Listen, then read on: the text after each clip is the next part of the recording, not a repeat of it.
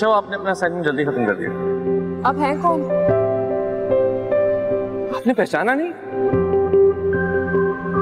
काफ़ी दिनों से आपका पीछा कर रहा हूँ छुप छुप के आपको देखता हूँ।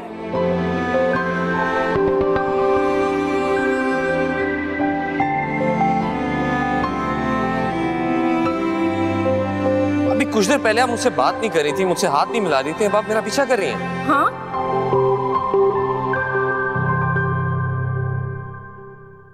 दुल्हन। जल्द आ रहा है।